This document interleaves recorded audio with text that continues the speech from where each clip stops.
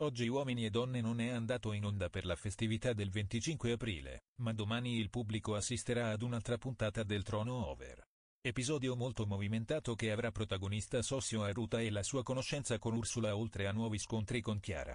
Ma è proprio Sossio che, nelle ultime settimane, è al centro di grosse polemiche da parte del pubblico, causate dal comportamento che ha con le Dame. Basta girare sulle pagine dedicate a uomini e donne per leggere commenti come Mi meraviglio che sanno che Sossio fa il provolone con tutte, e ancora vanno a corteggiare sto falsone. Punto Sossio fa la stessa identica cosa con tutte perché a lui di queste donne senza dignità, non gliene frega una mazza. A Sossio interessano le telecamere e la popolarità. Punto. Aggiornamento di Anna Montesano. Il trono over di Uomini e Donne va in onda domani e oggi rimarrà in panchina per via del 25 aprile e questo significa che per vedere Gemma Galgani e i suoi dovremo ancora attendere.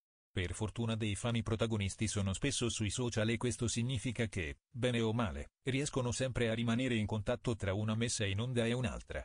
La più attiva rimane come sempre Gemma Galgani che in questo giorno di memoria e ricordi indelebili, ha una persona da ricordare, una donna che ha saputo combattere una battaglia lunga e dolorosa e che ha lasciato tre giovani donne in balia del suo amore e del suo ricordo. Pubblicando il video che potete vedere cliccando qui, Gemma scrive, Oggi il mio sarà un lungo messaggio perché insieme a tutti i morti per la resistenza, ci sei anche tu mamma Rosina che hai avuto la resistenza di volerti opporre ad un male invincibile. Hai lottato affrontando un'operazione sperimentale sopportata con grande coraggio e dignità, per aiutare la scienza ed anche per regalarci qualche giorno in più. Troppo pochi per averti perduta così presto. Non ci sono età per piangere la perdita dei propri genitori. Ma l'abbraccio di una mamma è unico. Troverà mai pace questa donna? I fan sperano di sì e si stringono intorno a lei anche in questo doloroso giorno. È da Hopper. Uomini e donne sta perdendo colpi, o almeno è questa l'opinione di molti telespettatori dello show di Canale 5. Quello che molti lamentano è il comportamento di Tina Cipollari e il sopravvento che l'opinionista sta prendendo sia nel trono classico che nel trono over. Prima opinionista, poi tronista e, per tanti, sempre protagonista di scena poco piacevoli e spesso addirittura volgari e da evitare in tv. Ad attaccarla sono però anche ex volti del trono over che, intervistati per il settimanale Nuovo TV, dicono la loro su questo cambio di rotta della Cipollari a uomini e donne. La prima è Paola Pinto, nota per il flirt avuto con Giorgio Manetti. L'ex dama, su Tina Tronista, dichiara, è una decisione ridicola. La presenza della Cipollari è sempre più ingombrante e gli altri non hanno più spazio.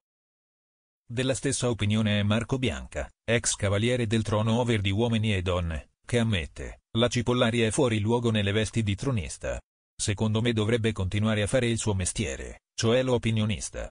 Perché se è vero che gli show della Cipollari assicurino sempre ottimi ascolti alla De Filippi, per Bianca è comunque vero che, così il programma sta perdendo il focus. L'obiettivo dovrebbe essere quello di formare nuove coppie. Un'idea condivisa anche da molti telespettatori di uomini e donne. L'ex cavaliere, infatti, conclude, ora invece assistiamo a beceri tetarini che minano la credibilità della trasmissione. Se si vuole impostare il programma sullo spettacolo, va benissimo. Basta che non si prendano in giro gli altri protagonisti, che sono utilizzati come carne da macello.